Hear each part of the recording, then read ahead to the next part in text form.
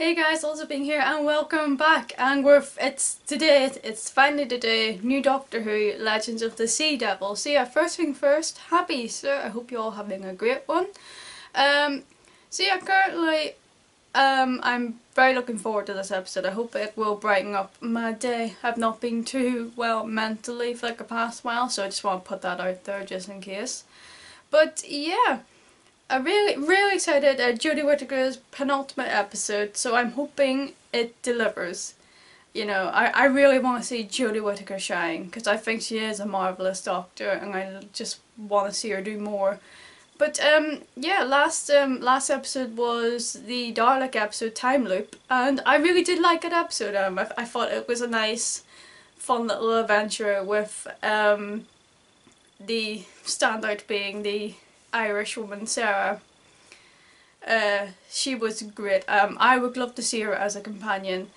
Um, so yeah, I think what the main focus, apart from the Sea Devils coming back, is gonna be the whole 13th Doctor and Yaz's relationship, whether it will be, we have two episodes left, whether it will be resolved or not. I don't know. My general thoughts on it are, you see, I can't really form a, to me, I, I, I can't form an opinion until I see the whole thing. So how it's gonna end ultimately is how I'm gonna really feel about it. But so far, I'm not really sold on it. As a queer person, I'm just gonna say I deserve more and I deserve better in terms of represent representation. The scene with Yaz, like, acknowledging her feelings, I thought that was great. I really liked um, because God knows she needed like her own little moments and I, and, and I thought it was nice um, her not really acknowledging that and then having to come to terms. But what I didn't like was Dan outing her to the doctor. It's like, he's like, Tiaz, tell her how you feel and then he just goes and straight tells the doctor. Why? Why would you out, never out someone, it's not cool. Plus he doesn't know what the doctor's feelings are. And I think that's my main issue with the Yasmin and the Doctor relationship. I personally think it's just not very greatly written. Yeah, it feels very one-sided with just Yaz. We don't really know, well, uh, me personally, it, it doesn't really seem all that clear whether the 13th Doctor likes Yaz in that way. I know a lot of people are hoping that they kiss, and it probably might happen because that's what the fans or the shippers want. Um, but I wish Chris Chibnall spent more time actually developing their relationship and making a bond because it doesn't feel like Yaz and the Doctor really properly know each other compared to other companion di dynamics. So I think it's, it's just kind of frustrating that if it is requited and the 13th Doctor does like Yaz in that way, why wasn't it showing more? You know what I mean? Like, why couldn't we see that rather than the first team Doctor just treating Yaz terribly? Maybe this will wing me around, I'm hoping it does. You know, again, I, I want to be wild. I want to be for it. I, I want to be, you know, invested but with two episodes left do I want to make the, the commitment to be emotionally invested in this? I don't know. I think I rambled too long. But yeah, that's just my personal opinion on that relationship. But let's see how it pans out. And again, I'm hoping for the best for Jodie. Um, having met her in February, she is lovely. She's she's lovely. I have like a little photo of it, like look, and you probably can't see it properly because I look awful, but no, she's she's lovely. Jodie Whittaker is just she has the exact same energy levels as 13 in real life. Let's do this, guys. Let's do this. I said stop! You're a bit late, mate. You're a bit late. Of my neck. Dan, hurry up. Damn, 13 look hella fang in that. Just gonna put that out there. What are you wearing? what she gave me. Yes, did you dirty, Dan. She did you dirty. Damn, look at that nice redesign. Sea devil. Land parasite. Let's not get into the name calling. When did they come up with that plan? Whopper. Oh dude, you're dead. RIP random character. I did not know you. Oh, it's just gonna. What is that? Some people refer to to an old Doctor Who monster, but I'm not um knowledgeable on what it is. 70? 60? 42? Ouch. Stowaway. Ouch. Negotiations went well then, Dan. Stupid little stowaways. You You're wrong, wrong, wrong, wrong, wrong. What's he doing? I mean, that's the trouble with history, never anything like the books. Same with Stephen King movies. We didn't get the treasure. no. But we did get something Madam Ching doesn't have. Okay. An exact That's the location most random. the ship went down. And a TARDIS that could take us to the same spot. Damn, that's beautiful. Oxygen bubble. Spectacular. Okay, that's my favorite shot right there. That's beautiful. What No ship, Sherlock. Not even the tiniest sign. Where's the ship? It's only been 274 years. The Oh, very poor least, ya. it'll be a Poor ya. Yaz is just like. I Here's the cannot. exact coordinates where it went. I'm sure she has eyes, Doctor. It's not really there anymore. The door.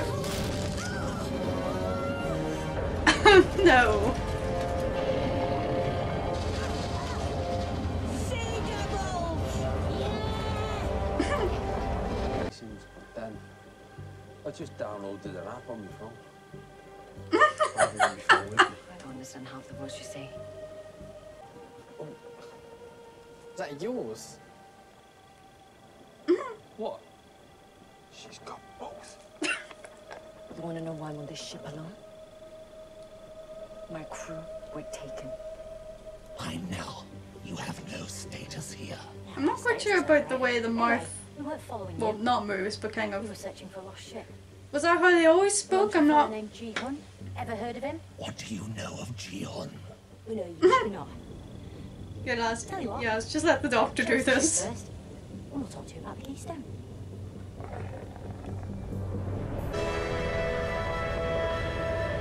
It's impossible.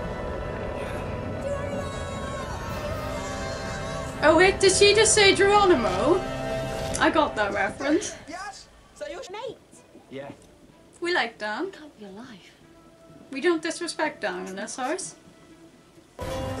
She should just do her third job, doctor, in the school.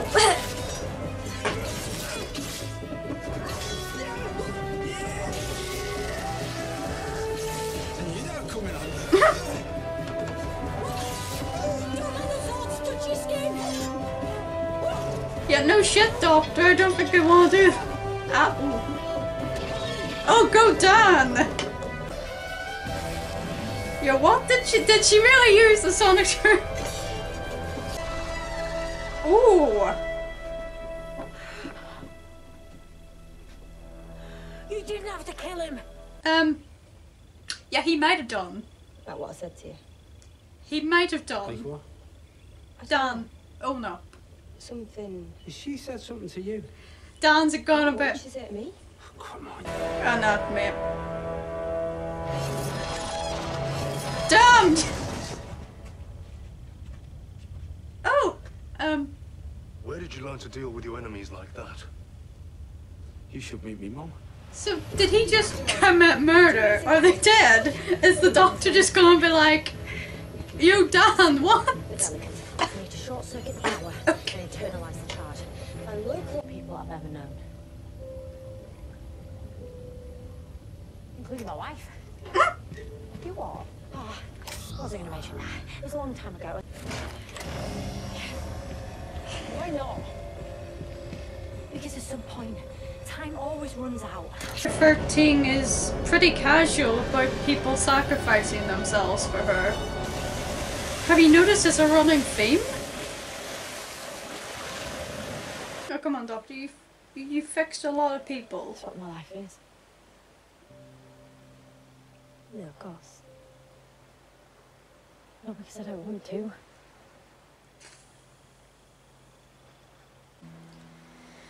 The Doctor doesn't like endings. And this one's coming sooner rather than later. No life. Ah, so the Daleks are back. The forces that mass against you. The Cyber that the long Cyberman's back. This is the day you die. Okay, the Master's back. We all kind of knew that. The doctor for nearly four decades. Just because it's only three decades. Ace! No way! No way! No way! Ace is back! Ace is back! Your. Ace is oh my god, she's one of my favourite classic companions. I love Ace. If I could play a companion, it would be like her. The 13th Doctor and Ace are gonna meet! So yeah, um, it was a nice little self-contained episode. Like, I'm not wowed by it, but I didn't think it was terrible. I, I thought, like, it was nice. Neat. It was nice to see the Sea Devils back, but I wasn't sure every time they talked, they had this weird effect with their throat. And it kind of reminded me of that, you know that, like a random filter effect where you just, like, move the, like, expand. And it, like, makes the area just, like, magnified. I didn't really like that effect. I just would have preferred if they did not any effect at all and you just like barely see like just maybe a twitch of the uh, mouth moving because like the animatronics and the the effects with the eyes moving and all that that was great so to me you didn't really need to add that effect I think it kind of looked a little bit funny especially when every time he spoke his little necklace around the sea devil's little thing would flash kind of like the Dalek light would flash every time they would speak that's just my little nitpick. I thought that the design was great, but I just didn't really like that effect. It kind of like made me think, oh, it's a bit weird. But yeah, um, some really, really nice moments. Um, the whole Doctor and Yaz dynamic, like I said, to me, it doesn't feel like they have a strong bond for me, for me to pull this off.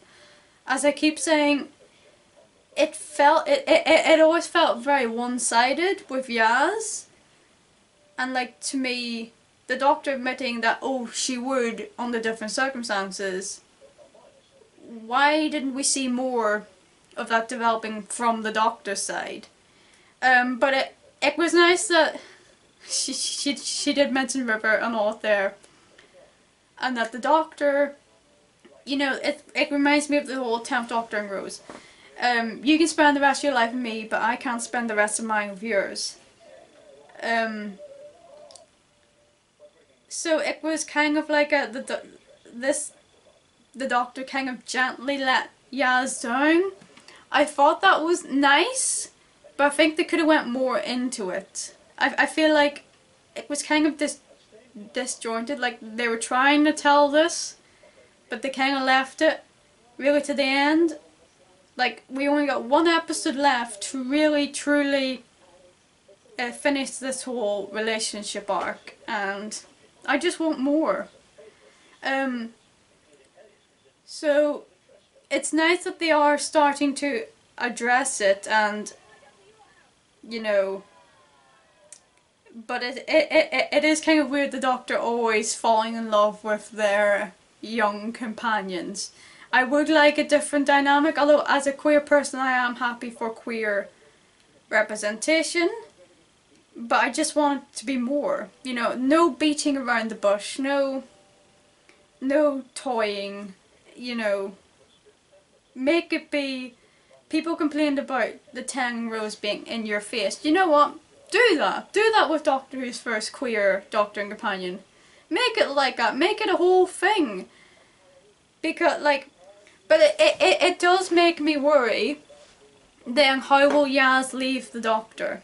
As we seen in the, the trailer thing, the doctor was saying Yaz as, as she was regenerating. I, I, I don't think Yaz is staying on. I think Russell T Davies will have a clean sweep and once and once kind of 13 regenerates, that's it. You won't really hear Yaz mentioned in the show anymore. So, will Yaz die? I'm hoping not, because like I don't want this to be another bury your gays trope. Whatever Yaz identifies as, it, it, it doesn't really matter. We don't need to put labels on everyone, but it would just be a foul taste to have another queer companion die. We had it with Clara and we had it with Bill. Please not, can we not do this for Yaz? I think because the doctor's kind of trying to let her down gently, Yaz may just leave like Martha Jones. Um, you know, I think they might not leave on bad blood. I think Yaz may thank the doctor for everything that she's done and for giving her confidence and then she goes off and live her lives her own life. Whether or not Dan, uh, Dan will live or not, I have no clue. But I think it will be nice just to not have companions just die. Could it be just great just to them to go, thank you doctor for all that you've done and then and then they just live their lives happily. You know, some sometimes that's nice. It can't be all doom and gloom. But yeah, as far as the episode went, you know, it's pretty enjoyable. Nothing stand out outish. Uh, the effect, a, a, a lot of the effects were great, and I did get a little bit of Goonies vibe, especially with the um, the pirate ship underneath and going through all these places. It kind of felt like follow this treasure trail, get to that. Um, but yeah, I think the main takeaway point of that episode is the Doctor's and Yaz's relationship. And it'll be interesting to see how Chris Chibnall will wrap everything up. Hopefully good. But I will say, it didn't really feel like the second to last episode of a Doctor that's currently going to leave. That's what... Like, is the next episode just a one-parter? is uh, like I, I I think it is. I was very sure that this episode was going to end on a cliffhanger, but surprisingly not. It was just a nice little self-contained episode. Maybe that's better, but maybe or maybe I'm just too used to all these big arcs when a doctor is leaving and they have these like two-part finales. But no, but yeah, that's just my opinion. So. But yeah, quite enjoyed that episode. I'll be interested in see how it will all pan out. But yeah, those are my just honest thoughts about everything. So yeah, post your comments down below how, what you thought and I shall see you next time. Peace.